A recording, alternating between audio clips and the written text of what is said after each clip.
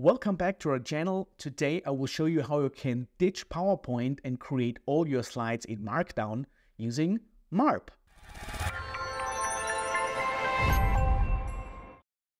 So today we're going to explore MARP, a great tool for creating presentations, slides from simple Markdown files, right? Presentation as code, if you will. MARP stands for Markdown Presentation ecosystem and it integrates smoothly into tools that you're already using, for example, Visual Studio Code. We here at InfraLovers use MARP a lot to create our uh, professional IT trainings. PowerPoint just doesn't cut it here. That's not an option for us. It just takes too long to edit a lot of different slides to automatically generate different versions of these slides, right? So PowerPoint not an option for us. Also, putting PowerPoint slides into a Git repository is also not very convenient for us, but Markdown files, you know, that works really well inside the Git repository. Here we are on the MARP website, the documentation, download links, everything can be found here. Just a short overview of the different features. So the Markdown files in MARP are written in common Mark, something that you probably are already familiar with from writing documentation or README files, we have the ability to add CSS, styling, and themes, as I've already mentioned. We can export these created Markdown files as PDFs, as PowerPoint files, as HTML files. This is what we are doing. So we're just rendering those uh, slides as HTML files and directly present them in a browser. Already mentioned that there are extensions for VS Code. There's a command line tool that you can use. And yes, it's fully open source and free. Once you have it installed, right, you have it available on the command line as such, as MARP. Uh, I've installed the newest version here already. For detailed instructions for your operating system, please consult the MARP website. What I also have is, let me just open up the directory in VS Code. I also have the MARP extension already here. Here it is, MARP for VS Code. So simply open up VS Code, install the extension. With that, uh, we are ready to go to create our first slide deck. And I just want to show you how that works here in VS Code. All we need is a markdown file. So I'm just gonna create a short demo.markdownfile.md is the file extension for Markdown. And for this to make sense, we need to add some uh, metadata on top of that Markdown file to tell it that this should be interpreted by MARP. And I do that by simply writing this here on top, MARP colon true. After that, I can start writing the content of my first slide. So for the first one, I'm just gonna write welcome to my presentation, right? No typos, very good. If I want to create a next slide, I simply add another three dashes here. So this is now the next slide. Uh, let's just add, you know, that slide two now actually, right, with some interesting yeah, sorry for this not being uh, more interesting content-wise, right? But I think I it gets the point across, right? So there should be three slides now.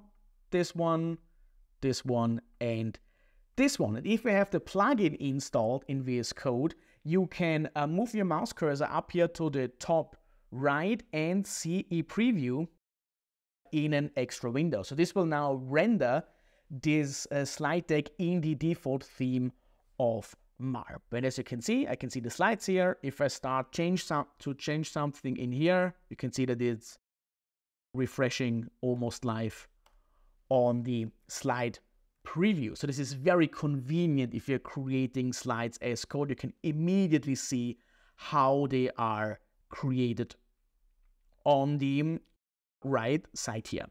If you want to choose another theme, there are three themes uh, included. It's the default one that you can see here. There is another one called Gaia, which makes it look like this. All you need to do, as you can see, is write theme colon and the name of this theme here. Let me show you what else we can do with the with the defaults here. I also get this marp button here on the top right corner of my file. And if I click that, I can directly export this markdown file in another format from here. So if I say export slide deck, you know, I can choose HTML file, PowerPoint, let's just do PowerPoint. So it's gonna create a PowerPoint version of that. Here it is, and I'm just opening that up in PowerPoint. There's of course a command line tool here as well.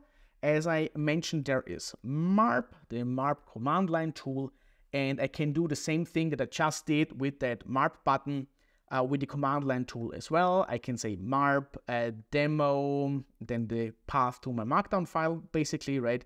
And I can do uh, pptx to create a PowerPoint file or anything else. And you know, I just created that with the command line. So if we are committing those markdown files into a Git repository and you want to set up an automated pipeline that creates PowerPoints, PDFs, or whatever, the command line tool is the way to go. All right, here I will show you how we use MARP at infra InfraLovers, you know, showing you our custom theme and all the other things that we're doing with it. I'm just opening up another repo here in my VS Code. And let's just open up one of our very simple trainings here. You can see uh, tons of slide decks here. Here's the one on Git. Let's just open up our Git intro. You can see here at the top, we are using our own custom theme called InfraLovers. And preview wise, you know, this is then rendering everything in our personal style with our own fonts.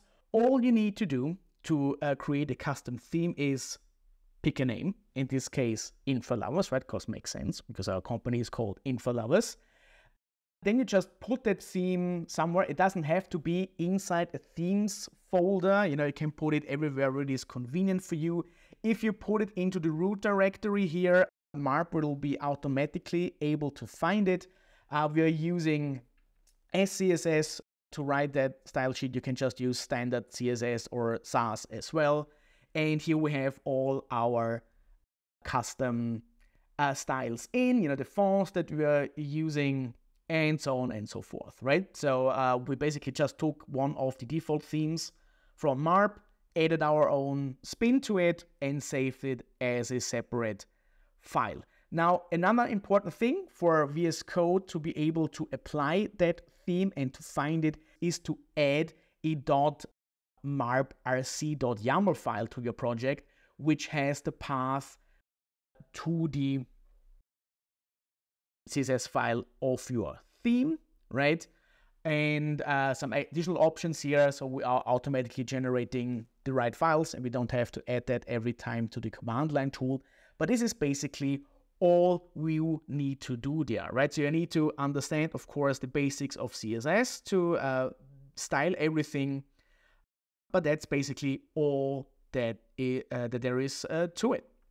And that's my quick overview of MARP, a great tool to create slides from markdown files whether you're a developer, content creator, or educator, if you have to manage a large amount of slides and you need to update them often, then having markdown files as slides totally makes sense.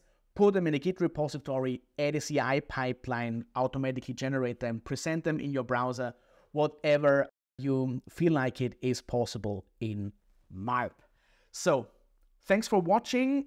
If this video was helpful to you, make sure to check out our website infralovers.com and explore our courses and services there.